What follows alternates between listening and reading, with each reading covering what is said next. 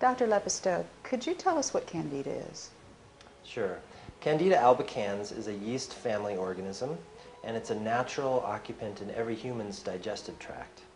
It's also one of the yeasts that has the potential to become a pathogen when it gets in an overpopulated state and out of control in the body.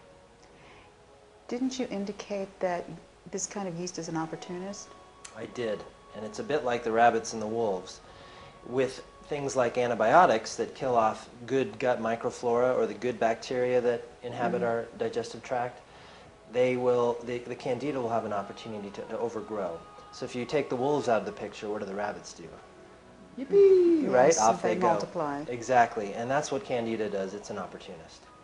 So some of the symptoms of that would be, or Right. The classic symptoms are, first of all, oral thrush. So that would be a white, thick coating on the tongue.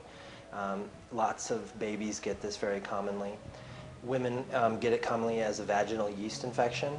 Mhm. And then on the skin, it, it shows up as a beefy red rash under the skin folds, folds of the breast, in the, the groin region. It's known as jock itch there. okay. On the feet, it's known as um, athlete's foot. All the same manifestation.